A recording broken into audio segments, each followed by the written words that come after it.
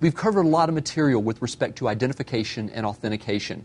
Remember, there are three different types, and the type you choose depends on your organizational needs for security and the capabilities. In other words, how much money and resource do you have to put toward it? Type 1 identification is what you know.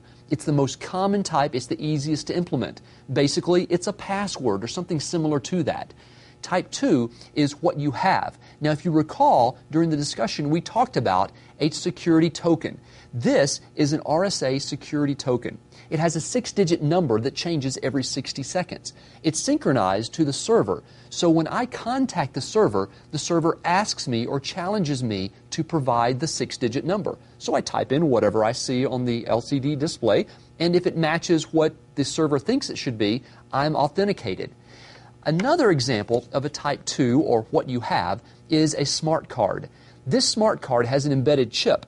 And basically, what happens now, now, this smart card is one that I'll use at the airport, and it allows me to bypass some of the longer lines. So, what I'll do is I'll provide this card, put it into the reader, and it authenticates me based on what I have.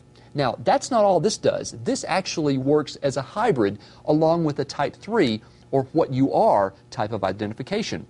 With respect to the smart card, it authenticates me, or rather identifies me, and then asks for more information. It'll ask me either for a fingerprint scan, which is a biometric, or a retina scan, which is also a biometric, type 3, what you are.